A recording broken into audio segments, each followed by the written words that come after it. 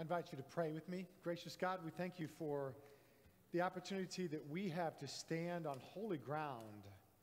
We know, God, wherever your presence is, that ground is sacred and holy, and we are grateful for this opportunity to do so as we gather around your word on your ground. May the words of my mouth and all of our thoughts and prayers be pleasing to you, our rock and our redeemer. Amen.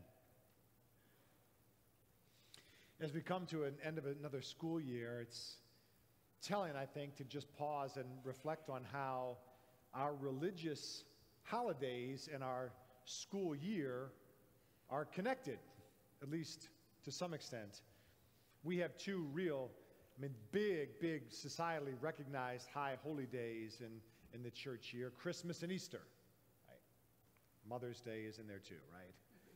We have Christmas and Easter uh, Pentecost notwithstanding today. And it's true that, that the school kind of works itself around those two major religious days. The spring break is paired with Easter and either before or after Easter frequently, and, and the longest break of the year outside of summer comes over Christmas. So we see how our calendar is influenced by our religious holidays for the Jewish people in Jesus' day, the same could be said, though religious festivals and agriculture were paired, intricately paired. So, this was an agrarian society, lots of farming going on, and because of the climate, some grain, vegetable, or fruit could be harvested nine months of the year. Nine months of the year, something was being harvested. For example, barley Barley was planted at the end of the fall, and then it was harvested the following spring. And after the barley harvest in the spring, the people held a religious festival because that's what you did after the harvest. You thanked God for the blessings of the harvest. And so people for the, the barley harvest uh, would bring their first fruits as an offering of thanksgiving to God. And this barley harvest had a name, a very functional, pragmatic name the Festival of Weeks. W E E K S, the Festival of Weeks. they say pragmatic. Uh, because it was always held not only after the barley harvest, but seven weeks after Passover, which was another religious festival in the springtime. So, the Festival of Weeks, every spring after the barley harvest, people bringing their first fruits to God. And many people would come to the, the capital city, Jerusalem, to celebrate the festival there. Number one, the temple was there, and you could bring your offering to the temple, to God's house. But also, it's just the place to be. Right? It's the place you want to be where everybody else is. And so it has a kind of a self fulfilling prophetic effect. Some people go, then everybody wants to go. Everybody wants to go because everybody's going there. And the end effect was that people from all over the area would be there. Now, they were all Jewish, but they might be representing different ethnicities, different cultures, speaking different languages, all converging on Jerusalem for the Festival of Weeks. Well, one year, one year, during the Festival of Weeks, after the barley harvest, was the same year that Jesus rose from the tomb. Now we know that 40 days after Jesus rose from the tomb, he ascended into heaven to sit at the right hand of God. Now, before all that happened, before Jesus died, before he rose, before he ascended into heaven, he pulled his followers aside and he said, told them what was going to happen. I'm going to leave you, but don't worry. Do not be frightened. Do not be dismayed. I'm, I'm going to be leaving you, but God is going to send you the Holy Spirit, which is going to be your assurance that God is with you in the absence of my body. So the Holy Spirit would be the presence of God in the absence of Christ, the comforter, the assurance that God was there. Now, all of this happened in Jerusalem too. Jesus died in Jerusalem, was buried in Jerusalem, rose in Jerusalem, and ascended into, into heaven in Jerusalem, the very same city where people were gathering for the festival. At the very same time, people were gathering for the festival of weeks, the barley harvest. And 10 days after Jesus ascended into heaven, the 50th day after Easter, as the festival was in full swing, something really important happened. And that's our scripture reading today. It comes to us from Acts chapter 2, verses 1 through 7. And it goes like this When the day of Pentecost had come, all the followers of Jesus were together in one place. And suddenly, from heaven, there, there came a sound like, like, like the rush of a violent wind, and it filled the entire house where they were sitting. And divided tongues as of fire appeared among them, and a tongue rested on each one of them. All of them were filled with the Holy Spirit. And they began to, to speak other languages as the Spirit gave them ability. Now, there were devout Jews from every nation under heaven staying in Jerusalem. And at this sound, the crowd came together and was bewildered because each one of them heard the followers of Jesus speaking in their own native language. Amazed and astonished, they said to one another, Are not all of these who are speaking Galileans? Then how is it that we hear each of us in the native language of each? The Word of God for the people of God. That's just verses 1 through 7. That story goes on for another 34 verses, right?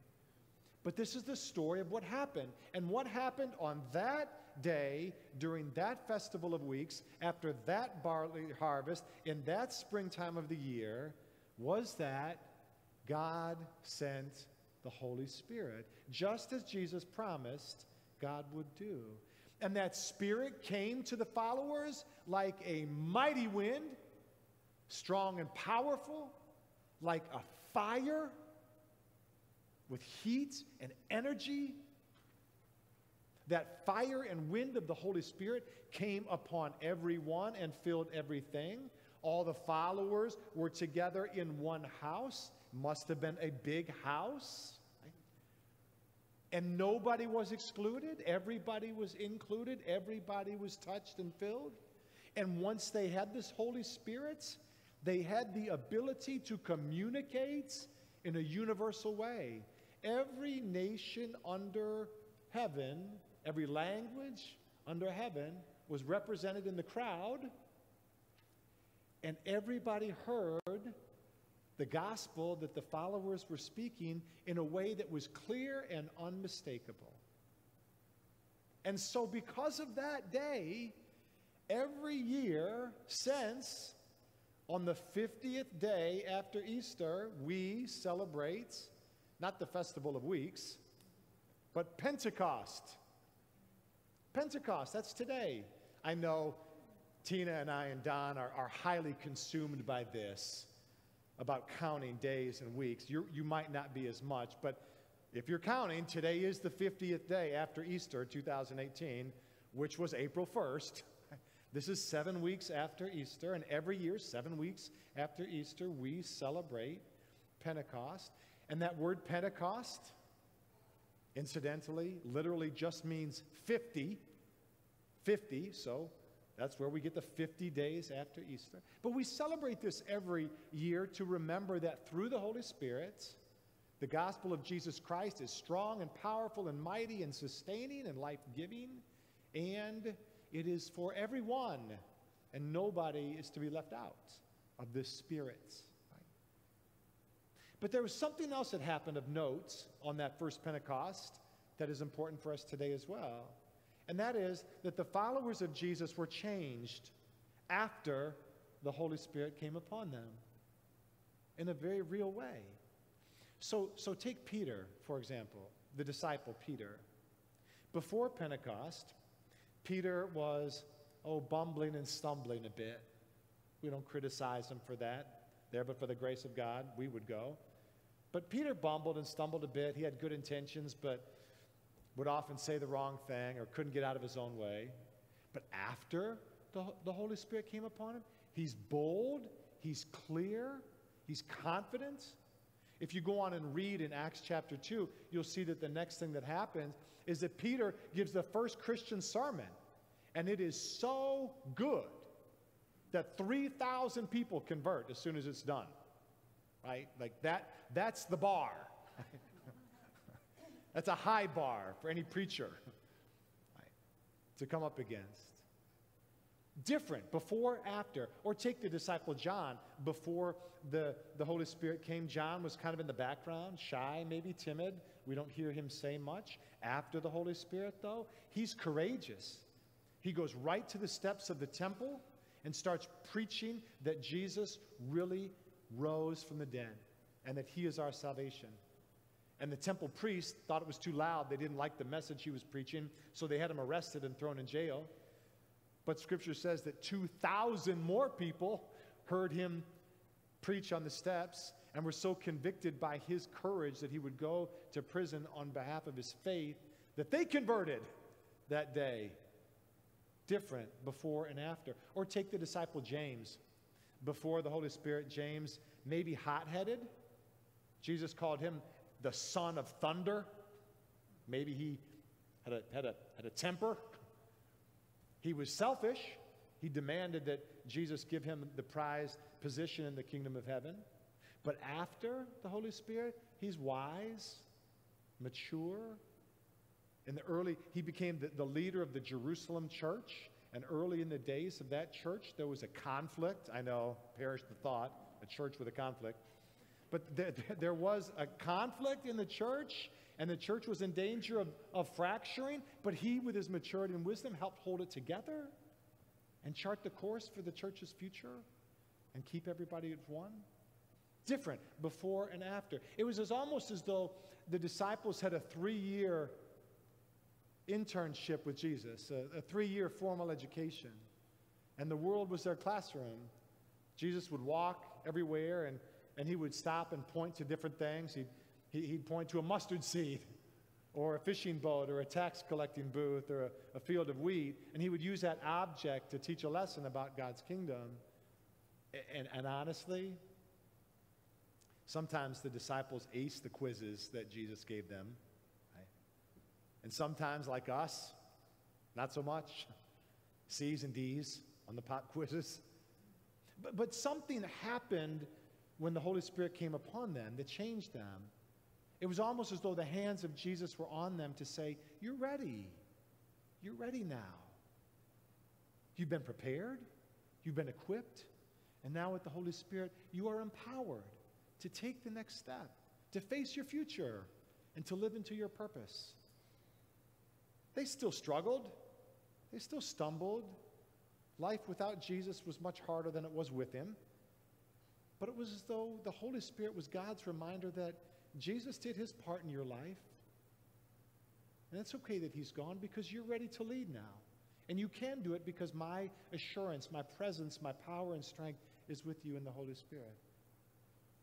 And I think it's very appropriate that we celebrate graduation Sunday on a day like Pentecost. Because the word graduate is based on a Latin word. Nice that we had a Latin um, anthem today because the Latin word for graduate or graduate is a Latin word, gradus, that means step, step. That's what graduation is taking a step. Or commencement. We think of commencement with graduation. Commence is to begin. So a day like graduation Sunday is a day to remember that our graduates and, and those who are matriculating in a formal education process are ready to begin the next step on their journey. People for like uh, those who are graduating with diplomas, like Seth, maybe, maybe going on to a, a brand new venture, a new experience, much different than the one he's had. Others, like uh, Thomas or, or Caden, uh, you know, Reese, these others, Zach, Mackenzie, maybe they're graduating to a new school or graduating to a new classroom, a new teacher? And a day like graduation Sunday is a day to say you're ready. You've been prepared and equipped, and we celebrate that right? and send you off to take your next step.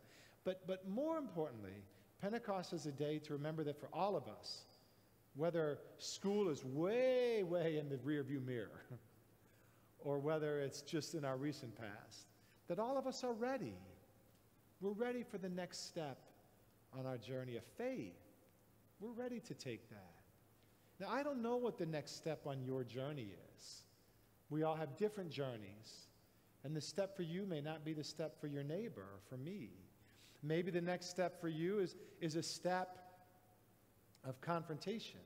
You know, you've been avoiding something that you hope would take care of itself, but, but God is really asking you to, to step forward boldly and embrace that openly and honestly. Or maybe the next step for you is a step in a new direction, a brand new direction that you've been hesitant to take because of whatever reason fear, apprehension.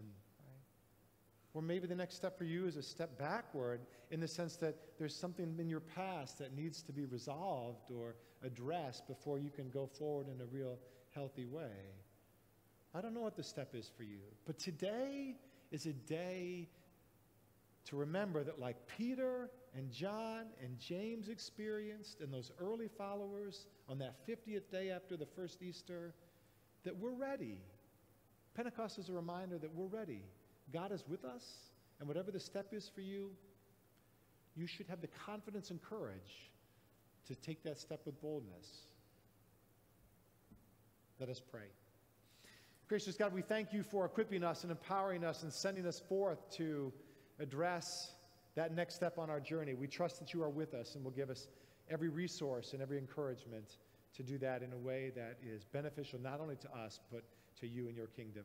In your holy name we pray. Amen.